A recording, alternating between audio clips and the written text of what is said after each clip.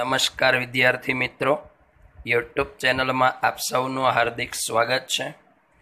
ધોરણ દસ, સામાજિક વિજ્ઞાન, ચેપ્ટર નંબર ચાર, ભારતનો સાહિત્યિક વારસો. આગળના વિડીયોમાં આપણે રામાયણ, મહાભારત અને બૌદ્ધ સાહિત્યનો પરિચય મેળવ્યો.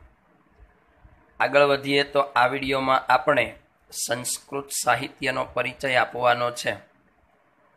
તો સંસ્કૃત સાહિત્ય એ પ્રાચીન યુગનું સંસ્કૃત સાહિત્ય છે. તો પ્રાચીન યુગના સંસ્કૃત સાહિત્યનો પરિચય આપો. અથવા સવાલ પૂછાય, ગુપ્ત યુગ કાવ્ય અને નાટકના વિકાસનો સુવર્ણયુગ ગણાય છે. ગુપ્તયુગ દરમિયાન જે ગુપ્ત વંશના રાજાઓ છે, એ રાજાઓના સમયમાં કાવ્ય અને નાટકનો સારો વિકાસ થયો. તેથી તેને સોના જેવો યુગ ગણાય. તો આપણો સવાલ કંઈક આ રીતે બને છે. સંસ્કૃત સાહિત્યનો પરિચય આપો અથવા પ્રાચીન ભારતીય સંસ્કૃત સાહિત્યનો પરિચય આપો અથવા ગુપ્તયુગ કાવ્ય અને નાટકના વિકાસનો સુવર્ણ યુગ ગણાય. તો જવાબમાં માહિતી આપીએ કે ગુપ્ત યુગ સમય દરમિયાન કાવ્ય અને નાટક એનો અદ્ભુત વિકાસ થયો, જેને કારણે એને સુવર્ણ યુગ તરીકે ગણવામાં આવે. આ સમય દરમિયાન અનેક મહાન સંસ્કૃત સાહિત્યકારો થઈ ગયા. એ સાહિત્યકારોમાં મહાન કવિ કાલિદાસ વિશ્વ પ્રસિદ્ધ સાહિત્યકાર ગણાય છે. તો સંસ્કૃત ભાષામાં પુસ્તક લખનાર સાહિત્યની રચના કરનાર, મહાનતા મેળવનાર જો કોઈ હોય સંસ્કૃતમાં, તો એ છે મહાકવિ કાલિદાસ. કે જેમણે સંસ્કૃતમાં અનેક નાટકોની રચના કરી. મહાકવિ કાલિદાસની પોતાની કાવ્યકલા માટે જાણીતા છે. તો મહાકવિ કાલિદાસ એ એમની કાવ્યકલા માટે, ઉત્કૃષ્ટ શૈલી માટે એ જાણીતા છે. અને મહાકવિ કાલિદાસની જાણીતી કૃતિઓમાં આવશે કુમાર સંભવ, રઘુવંશમ, મેઘદૂતમ, ઋતુસહાર વગેરે બેનમૂન અદ્ભુત સાહિત્ય કૃતિઓ છે. એમણે સંસ્કૃતમાં લખેલ જે પુસ્તકો છે, એ પુસ્તકોના નામ કંઈક આ પ્રમાણે છે, જે જાણીતી કૃતિઓ છે, પ્રખ્યાત છે. જેમ કે કુમાર સંભવમ, રઘુવંશમ, મેઘદૂતમ, ઋતુસહાર વગેરે બેનમૂન અદ્ભુત સાહિત્ય કૃતિઓ છે. જ્યારે મહાકવિ કાલિદાસની પોતાની નાટ્ય શૈલી, જેને વૈદર્ભી શૈલી તરીકે ઓળખવામાં આવે, એટલે કે વૈદર્ભી પદ્ધતિથી એણે નાટ્યની રચના કરી, એટલે એમની નાટ્ય શૈલી એ વૈદર્ભી શૈલી તરીકે જાણીતી છે અને એમના આધારિત કેટલાક એમણે નાટકો લખ્યા. તો મહાકવિ કાલિદાસની પોતાની નાટ્ય શૈલી, વૈદર્ભી શૈલી પર આધારિત નાટકોમાં કયા કયા નાટકોનો સમાવેશ થાય? એમાં આવશે અભિજ્ઞાન શાકુંતલમ, વિક્રમોર્વશિયમ અને માલવિકાગ્નિ મિત્રમ. આ ત્રણ એની જાણીતી, ઉત્કૃષ્ટ, ઉત્તમ પ્રકારની સાહિત્ય કૃતિઓ છે. તો મહાકવિ કાલિદાસે સંસ્કૃતમાં ત્રણ જે સાહિત્ય કૃતિ લખેલી છે, એ ખૂબ જ ઉત્કૃષ્ટ છે, અદ્ભુત છે. કઈ કઈ છે? અભિજ્ઞાન શાકુંતલમ, વિક્રમોર્વશિયમ માલવિકાગ્નિ મિત્ર. આ બધી જ જાણીતી કૃતિઓમાંથી સૌથી મહત્વની અગત્યની જો કૃતિ એમની હોય મહાકવિ કાલિદાસની, તો એ છે અભિજ્ઞાન શાકુંતલમ. જેની અંદર શકુંતલા અને દુષ્યંત રાજાની કથાનું વર્ણન કરેલું છે. તો મહાકવિ કાલિદાસની સૌથી જાણીતી મહત્વની કૃતિ કઈ? તો જવાબમાં આવશે અભિજ્ઞાન શાકુંતલમ. તો મહાકવિ કાલિદાસે ત્રણ ઉત્કૃષ્ટ શૈલીની રચના કરી.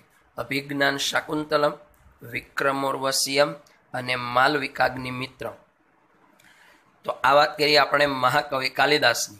હવે આપણે અન્ય લેખકો વિશે વાત કરવાની છે. અન્ય લેખકો વિશે વાત કરતા પહેલાં ફરીથી કાલિદાસની જે કંઈ પણ ચર્ચા હતી એની ફરી એક વખત માહિતી લઈ લઈએ કે મહાકવિ કાલિદાસ પોતાની કાવ્યકલા ઉત્કૃષ્ટ શૈલી માટે જાણીતા છે. એમની જાણીતી કૃતિઓમાં આવશે કુમાર સંભવમ, રઘુવંશમ, મેઘદૂતમ ઋતુસહાર બેનમૂન સાહિત્ય કૃતિ ગણાય છે. મહાકવિ કાલિદાસે પોતાની નાટ્ય શૈલી, જેને વૈદર્ભી શૈલી પર આધારિત નાટકો લખ્યા, જેની અંદર આવશે અભિજ્ઞાન શાકુંતલમ, વિક્રમોર્વશિયમ અને માલવિકાગ્નિ મિત્રમ જે ઉત્તમમાં ઉત્તમ, ઉત્કૃષ્ટ સાહિત્ય કૃતિઓ ગણાય છે. અન્ય સાહિત્યકારોએ અન્ય કૃતિ લખી, એમની વાત કરીએ તો બાણભટ્ટ લિખિત, હર્ષચરિત અને કાદંબરીની રચના કરી. તો બાણભટ્ટ નામના જે કવિ છે, એમણે બે ગ્રંથ લખ્યા સંસ્કૃતની અંદર, હર્ષચરિત અને કાદંબરી. આપણે જે ગ્રંથ જોઈ રહ્યા છીએ, જે સાહિત્ય પ્રકાર જોઈ રહ્યા છીએ, સંસ્કૃત ભાષાની અંદર લખાયેલા સાહિત્યોની વાત કરી રહ્યા છીએ. તો બાણભટ્ટ નામના વ્યક્તિએ બે ગ્રંથ લેખા હર્ષચરિત અને કાદંબરી. આ હર્ષચરિત છે સમ્રાટ હર્ષવર્ધન રાજાના જીવન ચરિત્ર પર આધારિત છે. આ સિવાય જો વાત કરીએ તો અન્ય પ્રસિદ્ધ ગ્રંથમાં ભવભૂતિ નામના વ્યક્તિએ ઉત્તર રામચરિતમ ભારવીએ કિરાતાર જુનિયમ વિશાખાદત્તનું મુદ્રા રાક્ષસમ, શુદ્રકનું મૃચ્છ કટિકમ અને દંડીએ દશ કુમાર ચરિત વગેરે ગ્રંથની રચના કરી. તો અન્ય જાણીતા ગ્રંથમાં કયા ગ્રંથો આવશે? ભવભૂતિ દ્વારા રચાયેલ ગ્રંથ ઉત્તર રામચરિતમ, ભારવી દ્વારા રચિત કિરાતાર્જુનિયમ, વિશાખાદત્ત નામના વ્યક્તિ દ્વારા રચાયેલ મુદ્રા રાક્ષસમ, શુદ્રક દ્વારા રચિત મૃચ્છકટિકમ અને દંડી રચિત દશ કુમાર ચરિતનો સમાવેશ કરવામાં આવે છે. આ ગ્રંથોના મુખ્ય વિષયો કયા છે? તો આ ગ્રંથોના મુખ્ય વિષયોમાં આવશે રાજકીય ઘટના પર આધારિત, રાજકીય બાબતો પર આધારિત, રાજ્યની અંદર જે ઘટનાઓ ઘટે એમના પર આધારિત એમણે સાહિત્ય લખેલા છે. પ્રણય પ્રસંગો એટલે પ્રેમના પ્રસંગો પર આધારિત, રૂપકો, હાસ્ય પ્રસંગો અને તત્વજ્ઞાનને લગતા કેટલાક સાહિત્યની રચના કરવામાં આવી છે. તો જે સંસ્કૃતમાં ગ્રંથો લખાયા છે એ ગ્રંથોના જે મુખ્ય વિષયો છે, એ વિષયોમાં આવશે રાજકીય ઘટનાઓ, પ્રણય પ્રસંગો, રૂપકો, હાસ્ય પ્રસંગો અને તત્વજ્ઞાન બાબતમાં સાહિત્યની રચના કરવામાં આવી. આ સમયના ગુપ્તયુગ સમયના મહાન સંસ્કૃત સાહિત્યકારોમાં બીજા અન્ય કેટલાક સાહિત્યકારોનો સમાવેશ થાય. જે આપણે ઉપરયુક્ત માહિતી આપી, એ મુજબ મહાકવિ કાલિદાસ ભવભૂતિ ભર્તુહરી, ભારવી, બાણભટ્ટ વગેરેનો સમાવેશ થાય. તો આમ આપણે માહિતી આપી શકીએ કે આ સંસ્કૃતની અંદર સાહિત્ય લખવામાં જેમણે મહાનતા પ્રાપ્ત કરી, એવા મહાન સાહિત્યકારોમાં ઉપરયુક્ત માહિતી પ્રમાણે જોઈએ તો મહાકવિ કાલિદાસ ભવભૂતિ ભર્તુહરી, ભારવી અને બાણભટ્ટ ઇત્યાદિ વગેરેનો સમાવેશ થાય. સમયાંતરે અમુક સમય વીતા પછી શંકરાચાર્ય નામના વ્યક્તિએ ભાષ્ય મુખ્ય છે. શંકરાચાર્ય નામના વ્યક્તિએ લખેલો ગ્રંથ જેનું નામ છે ભાષ્ય. ભાષ્ય ગ્રંથ જે લેખો એ ટીકાત્મક ગ્રંથ છે. ટીકાત્મક ગ્રંથ એટલે બીજા ગ્રંથો જે લખાયા હોય એની એ ટીકા કરે છે કે આ ગ્રંથમાં આ પ્રમાણે લખાયું, એ પ્રમાણે ન હોવું જોઈએ, આ પ્રમાણે હોવું જોઈએ. અન્ય કોઈ ગ્રંથ છે તો એમાં આ પ્રમાણે જે માહિતી આપી આ પ્રમાણે નહીં. બીજી રીતે હોવી જોઈએ. તો આવી જે ટીકાઓ કરવામાં આવે એને ભાષ્ય ગ્રંથો કહેવાય.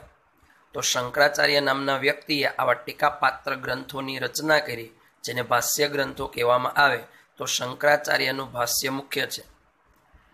અને દુનિયાની અનેક ભાષામાં અનુવાદિત થયેલ. દુનિયા આખાની અંદર ઘણી બધી ભાષામાં એનો અનુવાદ થયેલો હોય. એવા કેટલાક વાર્તા સંગ્રહો છે. પંચતંત્ર અને કથા સરિત સાગર બે વાર્તા સંગ્રહો, જે દુનિયાની અનેક ભાષામાં અનુવાદ થયેલ છે, ભાષાંતર થયેલ છે. તો એવા બે વાર્તા સંગ્રહોમાં આવશે. એક પંચતંત્ર અને બીજું કથા સરિત સાગર. તો અહીંયા સુધી આપણે માહિતી આપી કે સંસ્કૃત સાહિત્ય, પ્રાચીન યુગના સંસ્કૃત સાહિત્યનો આપણે પરિચય આપ્યો. અથવા ગુપ્ત યુગને કાવ્ય નાટક કલાનો સુવર્ણ યુગ ગણાય, તો એ સુવર્ણયુગ વિશે માહિતી આપી. તો આ છે આપણો સંસ્કૃત સાહિત્ય, સંસ્કૃતમાં ઘણા બધા કવિઓએ ઘણું બધું સાહિત્ય લખ્યું છે, ઘણા બધા સાહિત્યની એમણે રચના કરેલી છે. તો ફરી એક વખત જોઈએ, સંસ્કૃત સાહિત્યનો પરિચય આપો, અથવા પ્રાચીન ભારતીય સંસ્કૃત સાહિત્ય વિશે સમજાવો, અથવા ગુપ્તયુગ. કાવ્ય અને નાટકનો સુવર્ણયુગ ગણાય છે. તો સવાલ છે સંસ્કૃત સાહિત્યનો પરિચય જવાબમાં આવશે. ગુપ્તયુગ કાવ્ય અને નાટકના વિકાસનો સુવર્ણયુગ ગણાય. આ સમયમાં મહાન સંસ્કૃત સાહિત્યકારોમાં મહાન કવિ કાલિદાસ વિશ્વ પ્રસિદ્ધ સાહિત્યકાર અથવા લેખક ગણાય. મહાકવિ કાલિદાસની પોતાની કાવ્યકલા માટે જાણીતી કૃતિઓમાં આવશે. કુમાર સંભવમ રઘુવંશમ મેઘદૂતમ ઋતુસંહાર બેનમુન અદ્ભુત સાહિત્ય કૃતિઓ છે જ્યારે મહાકવિ કાલિદાસની પોતાની નાટ્ય શૈલી, વૈદર્ભી શૈલી આધારિત નાટકોમાં અભિજ્ઞાન શાકુંતલમ, વિક્રમોર્વશિયમ અને માલવિકાગ્નિ મિત્રમ ઉત્કૃષ્ટ સાહિત્ય કૃતિઓ છે. બાણભટ્ટ રચિત હર્ષચરિત અને કાદંબરીની પણ રચના થયેલી છે. આ સિવાય અન્ય પ્રસિદ્ધ ગ્રંથની જો વાત કરીએ, તો એમાં આવશે ભવભૂતિનું ઉત્તરરામચરિતમ ભારવીનું કિરાતાર્જુનિયમ, વિશાખાદત્તનું મુદ્રા રાક્ષસમ, શુદ્રકનું મૃચ્છ કટિકમ અને દંડીનું દશ કુમાર ચરિતનો સમાવેશ થાય. આ ગ્રંથોના મુખ્ય વિષયમાં જો વાત કરીએ તો રાજકીય ઘટનાઓ, પ્રણય પ્રસંગો, રૂપકો, હાસ્ય પ્રસંગો અને તત્વજ્ઞાન સંબંધી સાહિત્ય રચાય. આ સમયના મહાન સંસ્કૃત સાહિત્યકારોની જો વાત કરીએ તો ઉપરયુક્ત માહિતી પ્રમાણે મહાકવિ કાલિદાસ ભવભૂતિ ભર્તુહરી, ભારવી, બાણભટ્ટ વગેરેનો સમાવેશ થાય. સમયાંતરે શંકરાચાર્યનું ભાષ્ય મુખ્ય છે અને દુનિયાની અનેક ભાષામાં અનુવાદિત થયેલ પંચતંત્ર અને કથા સરિત સાગર એવા બે વાર્તા સંગ્રહો પણ જાણીતા છે. પ્રાચીન ભારતીય સંસ્કૃત સાહિત્યનો પરિચય મેળવ્યા પછી પ્રાચીન ભારતીય સાહિત્યમાં આગળ વધીએ તો ગુજરાતી ગદ્ય અને પદ્ય સાહિત્ય. ગદ્ય એટલે પાઠ, પદ્ય એટલે કાવ્ય અથવા કવિતા. તો ભારતનું જે સંવાદના સ્વરૂપમાં કે કોઈ ડિટેલ સ્વરૂપે માહિતી રજૂ કરે એટલે પાઠ અને કવિતા કે કાવ્ય સ્વરૂપે રજૂ કરવામાં આવે તો એને પદ્ય કહેવાય. તો આવે આગળ વધીએ તો આપણો સવાલ આ રીતે બને છે, ગુજરાતી ગદ્ય પદ્ય સાહિત્ય. ગુજરાતી ગદ્ય પદ્ય સાહિત્યનો વિકાસ વર્ણવ અથવા પ્રાચીન ભારતીય ગુજરાતી ગદ્ય પદ્ય સાહિત્ય. તો જવાબમાં માહિતી આપીએ કે મધ્યકાલીન ગુજરાતી સાહિત્યના અરસામાં ગુજરાતી ભાષામાં જે કૃતિઓની રચના થઈ એને લીધે ગુજરાતી સાહિત્ય સમૃદ્ધ બની ગયું. મધ્યયુગ દરમિયાન જો વાત કરવામાં આવે તો ગુજરાતી સાહિત્યના અરસામાં ગુજરાતી ભાષામાં કેટલીક કૃતિઓની રચના થઈ અને ત્યારબાદ એને લીધે ગુજરાતી સાહિત્ય સમૃદ્ધ બન્યું. એટલું જ નહીં, પરંતુ પ્રાચીન યુગથી જૂની ગુજરાતી ભાષામાં ઘણું પદ્ય સાહિત્ય પણ રચાયેલું છે. સમય જતાં ગુજરાતી ભાષામાં ખેડાણ થતાં ઘણી બધી કૃતિઓની રચના થઈ. તો ઘણા બધા એવા લેખકો અથવા તો કવિઓ છે કે જેમણે ઘણું બધું ગદ્ય અને પદ્ય પોતાની રીતે લખેલું છે.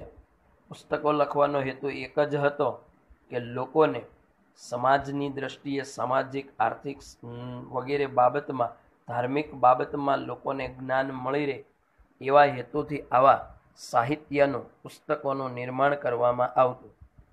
તો પ્રાચીન યુગ પ્રમાણે જો વાત કરવામાં આવે તો જૂની ગુજરાતી ભાષામાં ઘણું પદ્ય સાહિત્ય લખાયેલું છે.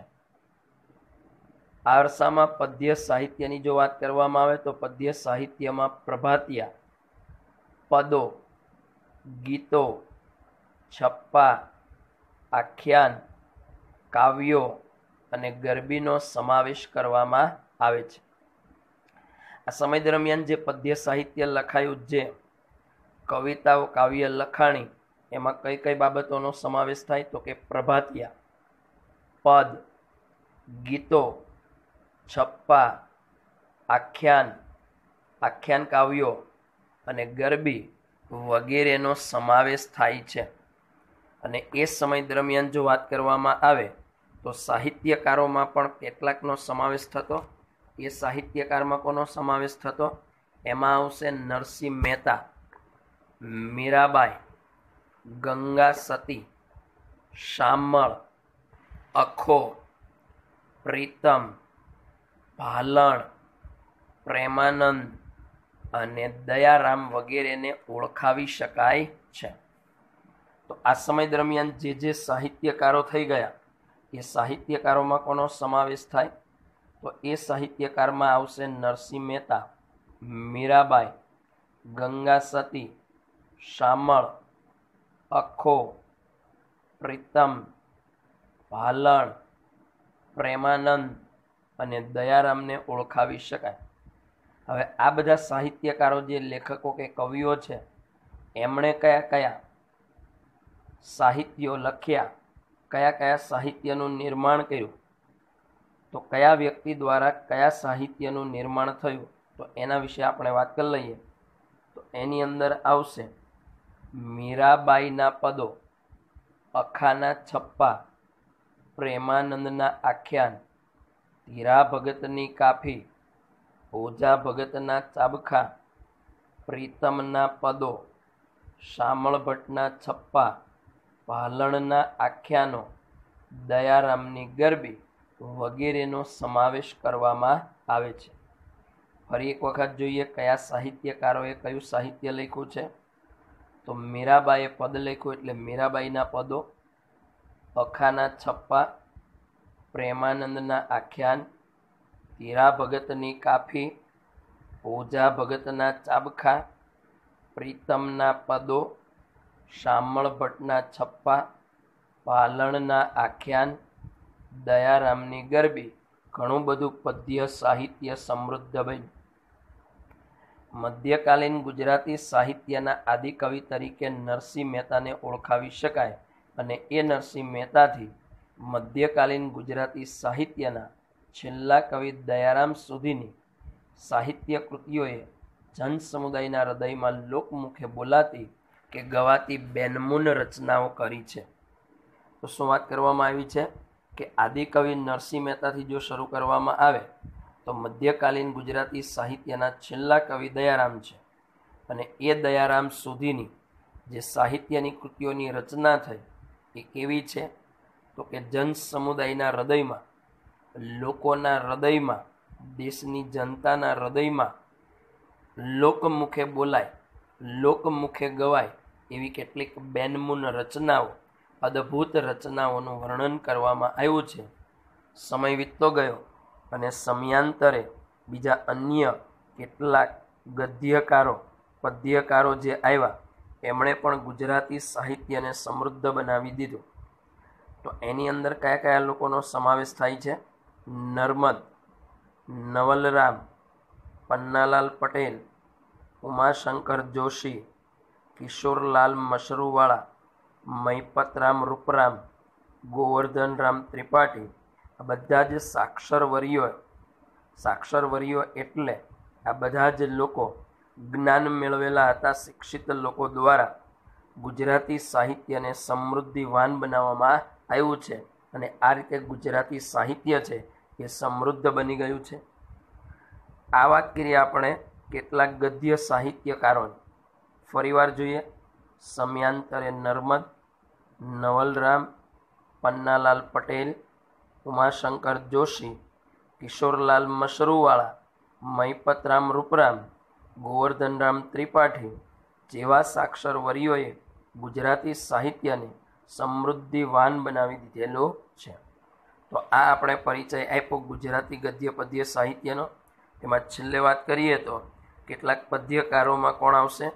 તો પદ્ય સાહિત્ય લખનારામાં આવશે બળવંતરાય ઠાકર, નરસિંહરાવ ભોળાનાથ દિવેટિયા, કવિ કલાપી, બાલાશંકર કંથારિયા, મણિભાઈ નભુભાઈ દ્વિવેદી, નાનાલાલ, ઉમાશંકર જોશી, સુંદરમ વગેરે પદ્ય સાહિત્યને સમૃદ્ધિ આપેલી છે. તો ફરી એક વખત જોઈએ ગુજરાતી ગદ્ય પદ્ય સાહિત્યનો વિકાસ વર્ણવો. મધ્યકાલીન ગુજરાતી સાહિત્યના અરસામાં ગુજરાતી ભાષામાં જે કૃતિઓની રચના થઈ એને લીધે ગુજરાતી સાહિત્ય સમૃદ્ધ બન્યું. આ અરસામાં પદ્ય સાહિત્યમાં પ્રભાતિયા, પદો, ગીતો, છપ્પા, આખ્યાન, કાવ્ય અને ગરબીનો સમાવેશ થાય.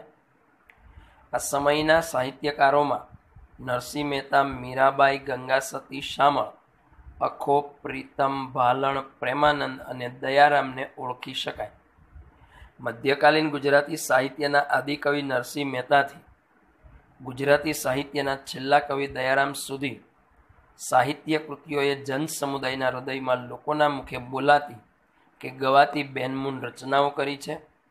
સમયાંતરે નર્મદ, નવલરામ, પન્નાલાલ પટેલ, ઉમાશંકર જોશી કિશોરલાલ મશરૂવાળા મહિપતરામ રૂપરામ અને ગોવર્ધનરામ ત્રિપાઠી જેવા સાક્ષરવરીઓએ ગુજરાતી સાહિત્યને સમૃદ્ધિવાન બનાવી દીધું